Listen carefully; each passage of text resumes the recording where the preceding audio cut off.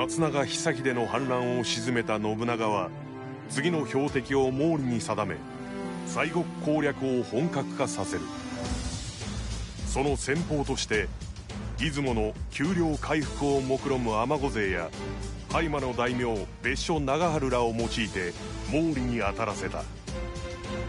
さらに尼子勢のよる神月城の公演として秀吉と光秀を派遣。信長自身も播磨平定のため出陣する。しかし長春らの寝返りで戦況は一変。苦戦を強いられた信長は秀吉と光秀を呼び戻さざるを得なかっ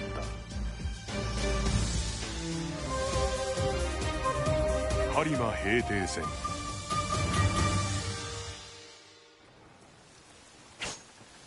戻ったか十兵衛。美月も一緒か。いや美月は光月城にとどまった。このままでは城は落ちる。誰かを天子救援に向かわせることは。三木城の別所長春。それに有岡城の荒木村重が相次いで離反したことは聞いている。すぐに奴らを沈めねば毛利を勢いづかせ次は今日を脅かされることになる。故に光月城は捨てる。天子一党を救う余力はない。それが天下一新のためなのだな。承知した。今はとにかく播磨の平定を急ごう。む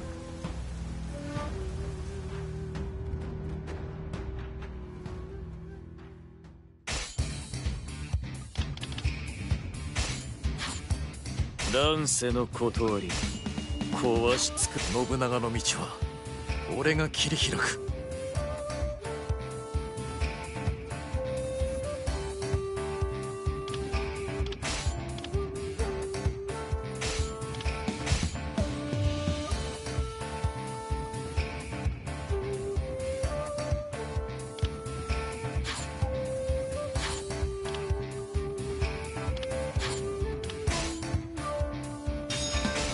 別所は城へとこもるか。ならば城ごと撃ち滅ぼすのみ。棟梁桃地より信長様へ鹿田城を無事制圧したとの三太夫の先行が走行した皆信忠を先頭に鹿田城へ進軍せよ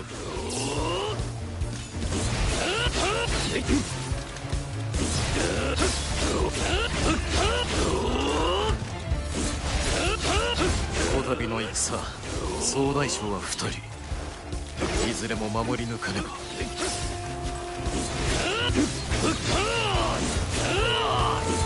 敵将討ち取ったり。おおやりましたね。今だ。織田信忠を討ち取れ。やめろ。伏兵が潜んでいたかひるむな応戦せよ！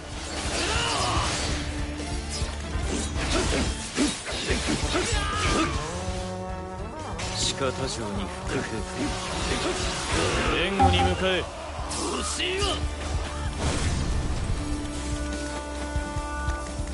なんとか間に合ったが今は目の前の戦いに集中しねえと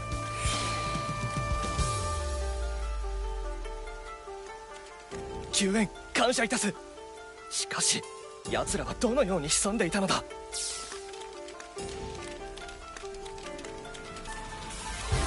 ここまでは全て想定通り。いでよ！織田勢を追い詰めるのだ！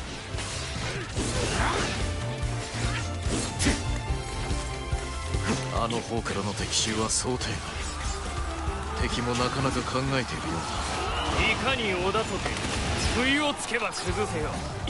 体勢を整える前に叩くのだ。織田の本陣は手薄と見た。直ちに攻め落とそう。開門。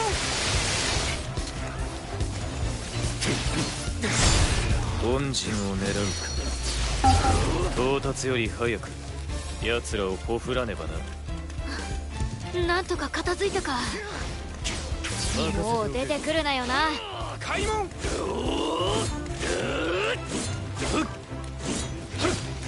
せろ。任せておけ。本陣突入の邪魔はさせぬぞ。敵の動きあまりに素早い。常に一手先を読まれているかのようだ。本陣は守られた。直ちに攻勢に転じようぞ信長が本陣の防備に気を取られた今が好機。あちらの城を落としてしまえ。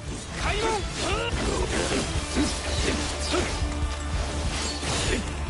の城敵に渡してなるものか。申し上げます。毛利の増援が戦場に接近中です。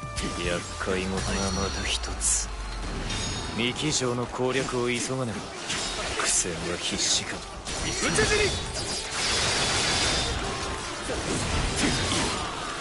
敵将切り伏せ。た悔しいがここまでか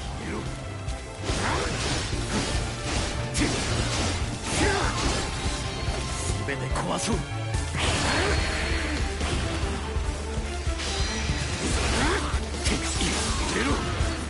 定めるものか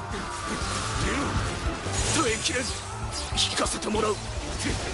美月光月城より戻った。親父に話がある。この戦が終わったらな。遊軍の城は守り抜けたが今は三木城攻略を急がねば。陣大五兵前線へ向かえ。兵の士気を高めれば優位に戦えよう。任せておけ有岡城からようやく来てみりゃ。なかなか押されてるみてえだ。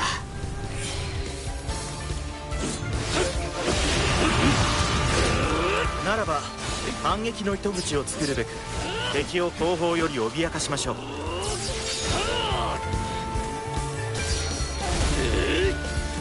敗北条件変更。年は。秀吉が参った。か戦況も幾分か好転しよう。おっと敵のお出ましだ。オイラたちを足止めするつもりか？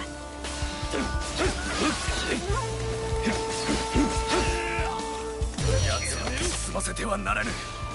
急げ援軍を潰すのだ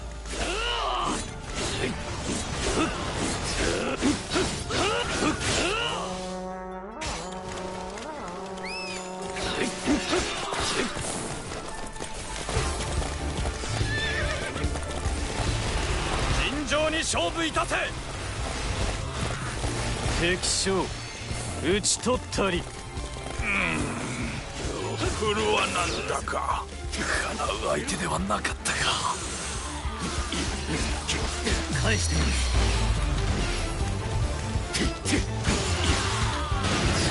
俺の刃から逃れられると思うな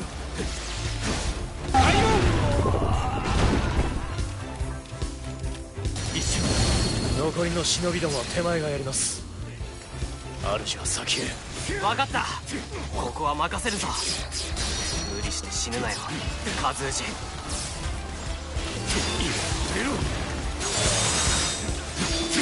どうやらここは敵の要所みてえだな。よし戦力を集中させて落としとくか。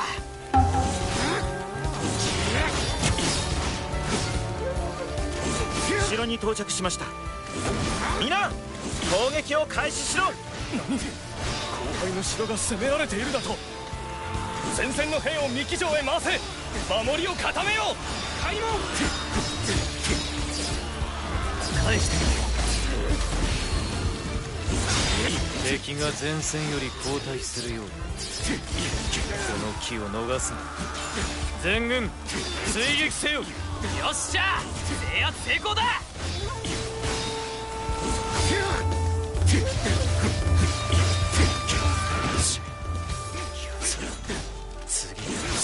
てきやがるくそ小通苦戦してんのかこれ以上仲間を見捨てられるかよ。情熱狂論が心もとないが間もなくニダが到着する頃合いか。生き城の平坦は我らの働きにかかっておる。決死の覚悟で輸送せよ。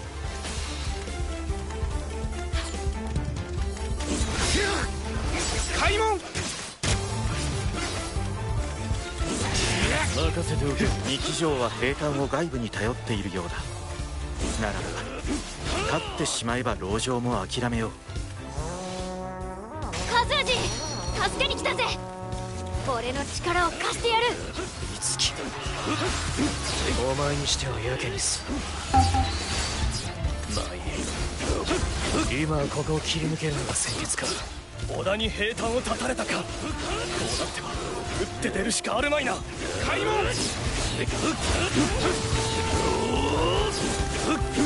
兵糧なしで織田に打ち勝てるだろうか。上との戦いは避けられぬだろうな。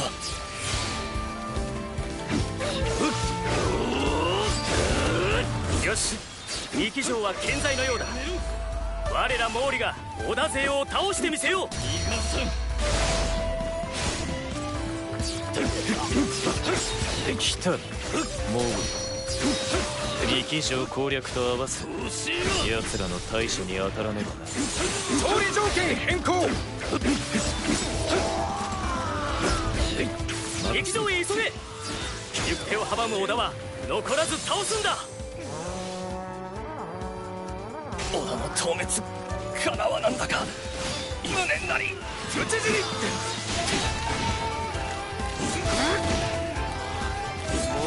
の増援か。オイラが迎え撃ってやるよ。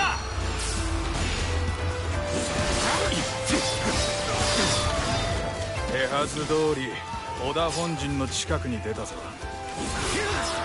さあ奴らに奇襲をかけてやろうか。承知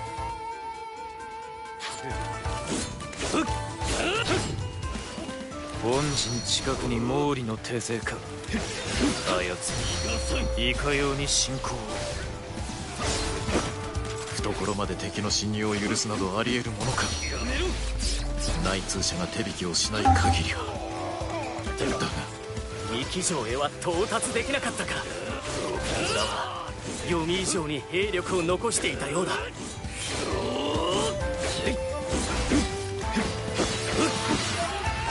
我は無双全てを壊し尽くす魔王よ味方の救援ご苦労さん。早速で悪いが。てめえはここで果てな。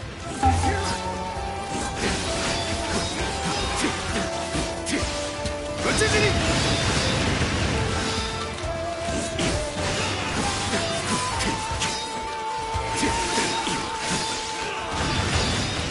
討ち死に。任せておけ。極めろ度重なる進行もここまでだ。この私が織田の野望を打ち砕こう。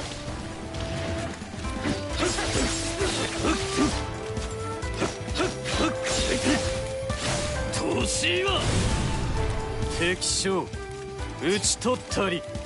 悔しいが。ここまでかお見事にござった。道を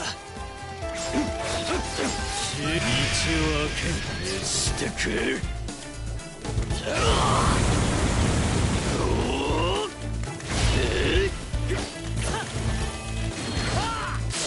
で食いよやむを得ない。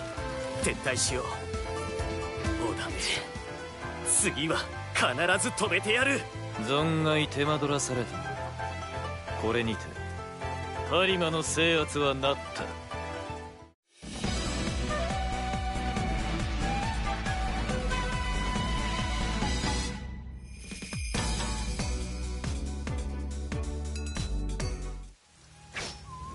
光月城は落ちた。勝久様も鹿之助も死んだぞ。であるか。おいそれだけかよ親父に見捨てられて死んだんだぞ。一時の情に流されて判断を誤れば犠牲は尼子一党のみでは済まなかっただろう。だからってそんなに簡単に割り切れるもんか。なんでギリギリまで助けようとしねえんだよ。美月お前には分かるまい。いや分かったよ親父がろくでもねえ冷血感だってな。そうやって鹿之助を切り捨てたみたいに俺の父親も切り捨てたんだろ。お前信行のことを。親父のこと信じたかったけどもう無理だ。じゃあな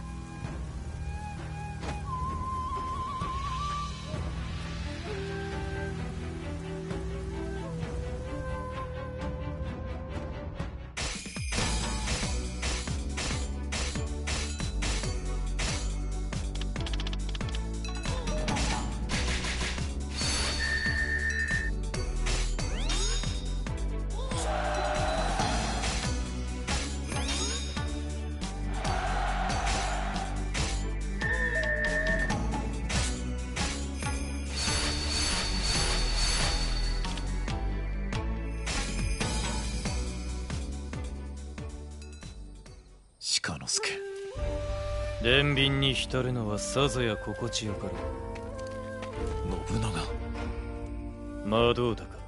銃何をバカな。俺は。やっぱり根っこは変わってない。俺の信じた光秀のままだ。違う。俺は変わった。正しきをなすために